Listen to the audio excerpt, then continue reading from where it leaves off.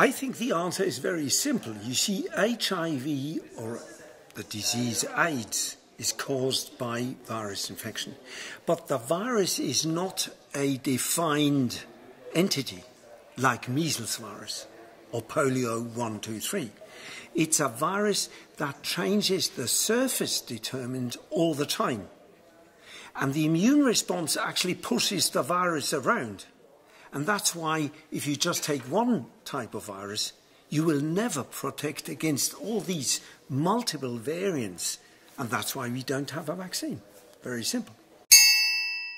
I think at the moment there is no hope, except for what I've mentioned, that you take all variants and make a Bichemiesli. Huh? Combine everything, 100,000 variants, but this is very difficult to achieve. No, no, very optimistic.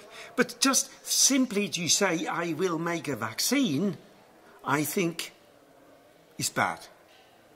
Because against certain infections, you cannot make a vaccine. That's all I say.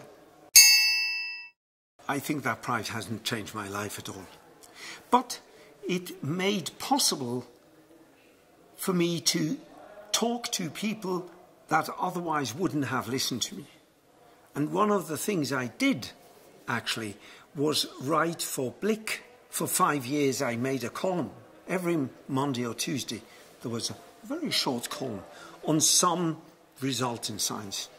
And I couldn't have done that without the Nobel Prize. So, yes, in certain aspects, like teaching, like reaching out to the general public, it has opened up possibilities. I think for me personally, you know, once, usually, you know, once you're 16, you don't really change any longer. I was 52, so I didn't change. Of course, I've been to Fribourg many, many times.